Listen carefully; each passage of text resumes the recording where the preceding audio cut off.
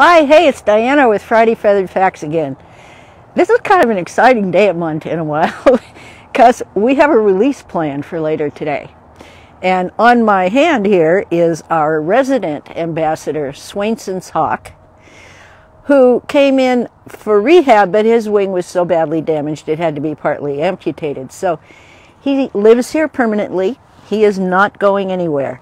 But we do have a Swainson's hawk that has been here in rehab. He came in from Great Falls about a month ago with an apparent soft tissue injury.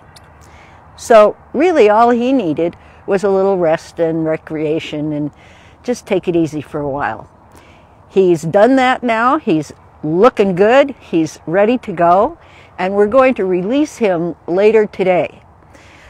It's also their migration time.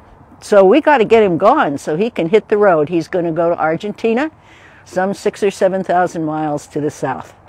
So it's a beautiful day today. It's going to be a beautiful weekend for him to get on his way.